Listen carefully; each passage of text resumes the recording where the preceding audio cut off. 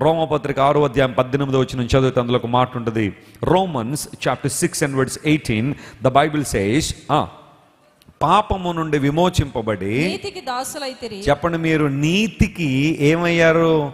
దాసులయ్యారు. ఇందుకు దేవునికి ఇందుకు దేవునికి స్తోత్రం. ఎప్పుడు దేవునికి స్తోత్రం? పాపము నుండి విమోచింపబడి నీతికి ఏమయ్యామట మనం? దాసులమయ్యాం. అంటే ఒకప్పుడు మనందరం పాపానికి ఎలా ఉన్నాం? దాసులుగా ఉన్నాం. పాప దాస్యంలో బ్రతికాం. ఇస్రాయేల్ ప్రజలు ఐగుప్తు దేశంలో నాలుగు వందల సంవత్సరాలు బానిసలుగా ఉన్నట్టుగా మనం కూడా అనేక సంవత్సరాలు పాప బానిసత్వంలో బ్రతికాం. ఎప్పుడైతే యేసు ప్రభువుకు మన జీవితాన్ని అప్పగించామో సత్య దేవుడు నిత్య దేవుడైన మన ప్రభువును రక్షకుడైన ఏసైకి మన జీవితం అప్పగించామో ఇప్పుడు ఈయన పాపము నుండి మనల్ని విడిపించి చెప్పండి నీతికి ఏం చేశాడట ఆయన? దాసులుగా చేశాడు. ఇందుకు దేవునికి స్తోత్రం. కొంతమందికి దేవునికి స్తోత్రం ఎక్కడ చెప్పాలో తెలియదు ప్రతి మాటకి ఏం చెప్తా ఉంటారు? దేవుని స్తోత్రం అంటారు. అలా ప్రతి మాటకి చెప్పకండి అతకదు కొన్నిసార్లు. ఒక ఆమెని సాక్ష్యం చెప్పమంటే మా ఆయన రోజు రోడ్డు మీద తాగి పడిపోతాడని దేవుని స్తోత్రం అండి అందా. దానికి ఎందుకమ్మా దేవునికి స్తోత్రం? అక్కడ ఏం మహిమ వచ్చింది దేవునికి?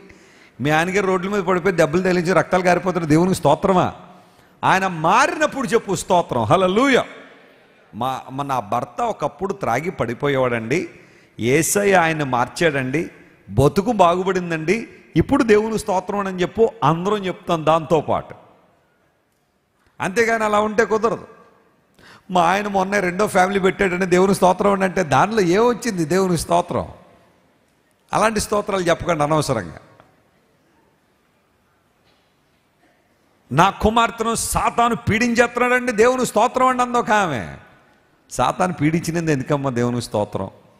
ఆమె కోసం ప్రార్థన చేయి విడుదల పొందుతుంది. అప్పుడు దేవుని స్తోత్రం చెప్పు. ఎక్కడ స్తోత్రం చెప్పాలో తెలియదు కొంతమంది. ఎక్కడ హల్లెలూయ చెప్పాలో తెలియదు సేవకులు ఉంటారు కొంతమంది హల్లెలూయ అని ఊతపదం చేసేసుకుని ప్రతి మాట వెనకాల హల్లెలూయ. మొన్న ఒక ఆయన అన్నాడు ఎవడో సాతాను చాలా బలంగా మోసం చేస్తున్నాడు దేవునికి స్తోత్రం హల్లెలూయ అన్నాడు ఆయన. అందులో అందులో దేవునికి అక్కడ ఎక్కడొచ్చింది మహిమ అసలు? ఆ మోసం నువ్వు విడుదల పొందావు అప్పుడు చెప్పు. అందును బట్టే పౌలు చాలా స్పెసిఫిక్గా రాశాడు పాపము నుండి విమోచింపబడి నీతికి దాసులమయ్యాము. ఇందుకు దేవునికి స్తోత్రం. హలలుయ నువ్వు మారినప్పుడు దేవునికి మహిమ. నువ్వు నువ్వు పాప జీవితంలో విడుదల పొందినప్పుడు దేవునికి మహిమ. నీ బ్రతుకు పాప బంధకాల్లోంచి బయటకు వచ్చినప్పుడు దేవునికి మహిమ. అలాంటి మహిమలో ఉండాలని ఆశిస్తున్నావా?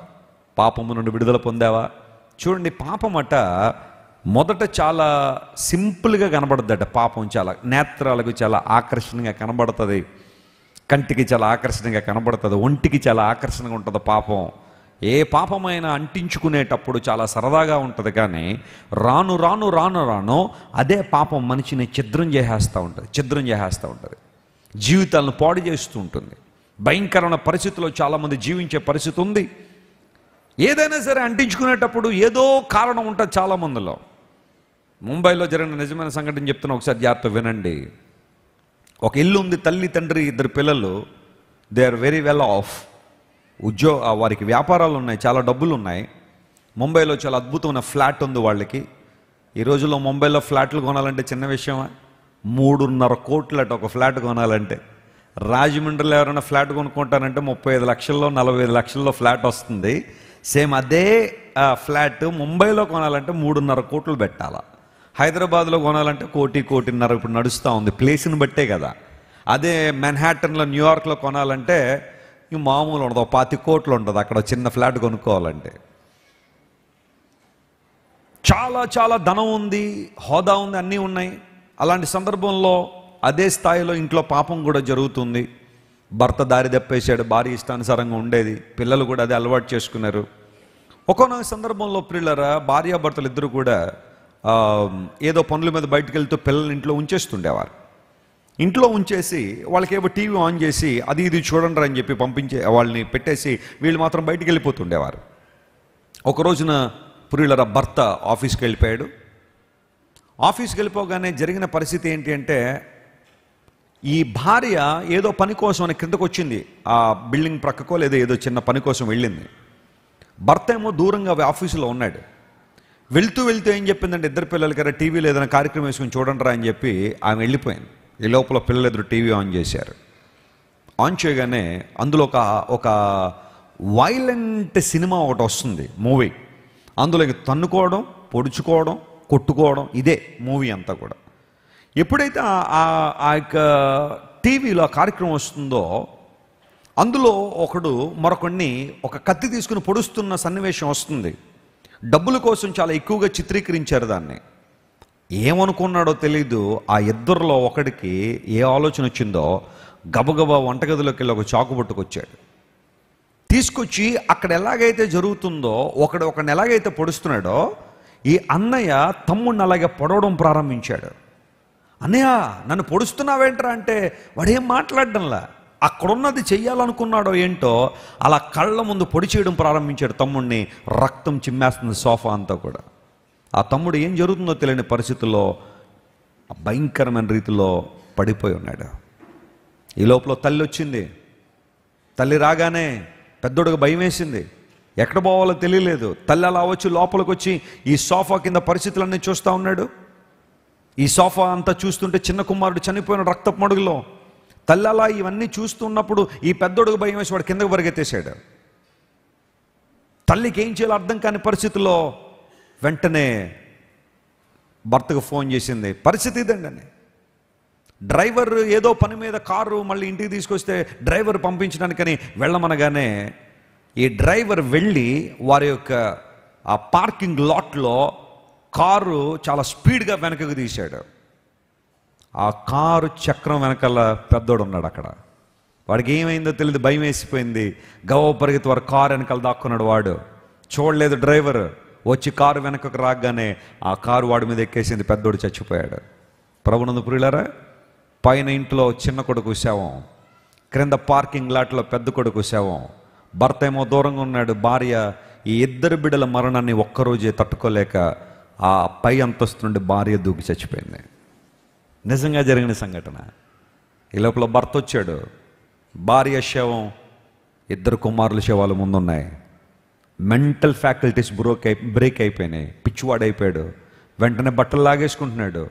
జుట్టు పీకేసుకుంటున్నాడు. ఏమైందో తెలీదు. డాక్టర్లు చెప్పారు ఇతనికి పిచ్చి వచ్చేసిందని. చూడకూడని ఒక దృశ్యం చూడకూడని ఒక వీడియో. ఆ ఇంట్లో ఎంత వినాశనాన్ని తీసుకొచ్చిందో చూడండి. చాలాసార్లు నువ్వు అనుకుంటున్నావు ఏముందండి సరదాగా అండి అంత? ఏదో అలా అలా చూస్తున్నారని అంటే పిల్లలు టైం పాస్ అండి. No the devil is enemy is inspiring them influencing them to do some wrong things చూడకూడని వాటిని చూడడం వల్లనే కదా దీనిని చాలామంది యవనసులు దారి తప్పిపోతున్నారు. చూడకూడని వాటిని చూడడం వల్లనే కదా ఎన్నో అగత్యాలు భూమి మీద జరుగుతున్నాయి. పోర్నోగ్రఫీకి బానిసలైపోవడం వల్ల కదా చిన్న చిన్న పిల్లలు కూడా నడి రోడ్ల మీద భయంకరంగా చెరిపివేస్తున్నారు మనుషులు. పాపం ఆకర్షణ ముందు బాగానే ఉంటుంది. కానీ రాను రాను నిన్ను భయంకర బంధకాల్లోకి నెట్టివేసినప్పుడు భయంకరమైన కార్యాలని కుటుంబంలో జరిగే అవకాశాలు ఉంటాయి. ప్రియ దేవుని బిడ్డారా వంచండి మీ మోకాళ్ళు దేవుని సన్నిధిలో. దేవునికి భయపడండి. పాపం చేయడానికి భయపడండి.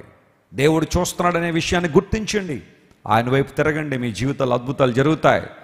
మారు మనసు రక్షణ లేక అన్నింటినీ సరదాగా తీసుకుంటూ పోన్లే పోన్లే పోన్లే అంటే అపవాది ఒక్కొక్క స్టెప్ ఒక్కొక్క స్టెప్ వచ్చేస్తాడు నీ ఇంట్లోనికి.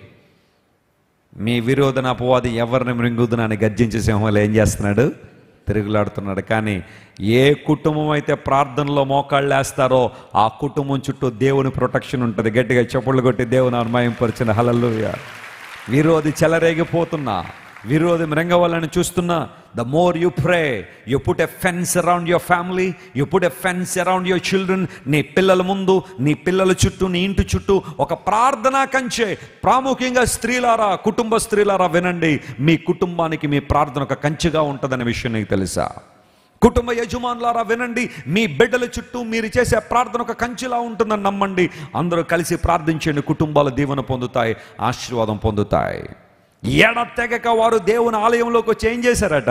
దేవునికి స్తోత్రం చెల్లించారు. ఎందుకంటే దేవుడు వారి జీవితంలో చేసిన మేళ్ళు ఉపకారాలను బట్టి దేవునికి మహిమ చెల్లించారు. Let us praise the name of Jesus let us worship our king of kings and lord of lords every day every moment యేసు ప్రభుని ఆరాధించడం ఆదివారానికే పరిమితం చేయకండి. ప్రభువుని ఆరాధించడం ప్రార్థన చేయడం దేవుని సందికి రావడం కొన్ని సందర్భాల్లో కొన్ని సమయాలకు మాత్రమే పరిమితం కాదు. మన హృదయాలు దేవునితో ఎల్లప్పుడూ అనుసంధానం చేయబడి స్థుతి అర్పణ చేస్తూనే ఉండాలి. హలలుయ ప్రభువుని ఆరాధిస్తూనే ఉండాలి. ఆయన గొప్పతనాన్ని బట్టి ఆయన మంచితనాన్ని బట్టి ఆయన కృపను బట్టి మనం దేవుని స్థుతించాలా? మీరు ఇంతవరకు విన్న దైవ సందేశం మరియు దేవుని సేవకులు చేసిన ప్రార్థన మీకు ఆశీర్వాదకరంగా ఉన్నదని విశ్వసించుచున్నాము. ఈ సందేశాన్ని మీ స్నేహితులకు బంధువులకు షేర్ చేయండి. మీకు ఏదైనా ప్రార్థన అవసరత ఉన్నచో మా ఫోన్ నంబర్లకు కాల్ చేయండి. దేవుడు మిమ్మల్ని ప్రేరేపిస్తే విశ్వాసంతో సాగుచున్న ఈ పరిచయను ప్రోత్సహించండి. మరిన్ని వర్తమానాలు పాటలు వినుటకు జాన్ వెస్లీ మినిస్ట్రీస్ అను మా యూట్యూబ్ ఛానల్ను సబ్స్క్రైబ్ చేసుకునండి. ప్రభు అయిన యేసుక్రీస్తు కృప మీకు తోడైండునుగాక గాక.